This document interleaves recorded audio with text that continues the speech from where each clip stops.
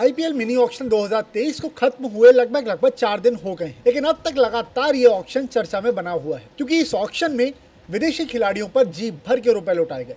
और जहाँ खिलाड़ियों के पीछे पैसा खर्च करने की बात होती है, वहाँ मुंबई इंडियंस कैसे पीछे हट सकता है? मुंबई इंडियंस ने ऑस्ट्रेलिया के ऑलराउंडर कैमरन ग्रीन को साढ़े सत्रह करोड़ रुपए में अपनी टीम में शामिल किया। लेकिन मुंबई इंडियंस के सामने एक बड़ी परेशानी खड़ी होती हुई दिख रही है। परेशानी यह है कि ऑस्ट्रेलिया और साउथ अफ्रीका के बीच चल रहे टेस्ट मैच में कैमरन ग्रीन चोटिल हो गए हैं। इस मैच के दौरान कैमरन ग्रीन को फिंगर इंजरी हुई। उनकी उंगली की हड्डी टूट गई। इसके चलते उन्हें सिडनी टेस्ट से बाहर होना पड़ा है। कैमरन ग्रीन को बल्लेबाजी करते हुए ये चोट लगी। उस समय एनरिक नौ के गेंदबाजी कर रहे थे और इस चोट के चलते उन्हें रिटायर हर्ट होना पड़ा। कैमरन ग्रीन ने अब तक इस मैच में शानदार प्रदर्शन किया। साउथ अफ्रीका की पारी के दौरान कैमरन ग्रीन ने पाँच विकेट छटकाए। वहीं जब बल्लेबाजी का मौका आया तो उन्होंने अर्धशतक भी यहाँ जमा दिया था। लेकिन अब इस चोट के बाद ऑस्ट्रेलिया को उनकी कमी काफ़ी ज़्यादा खलेगी। और ऑस्ट्रेलिया के साथ साथ मुंबई इंडियंस की भी चिंताएँ बढ़ गई होंगी। खैर, फ़िलहाल अभी इस वीडियो में इतना ही है। ये वीडियो आपको पसंद आए तो उसको प्लीज़ लाइक करें शेयर करें और क्रिकेट की खबरों से जुड़े रहने के लिए खबर विभाग को सब्सक्राइब करना ना भूलें।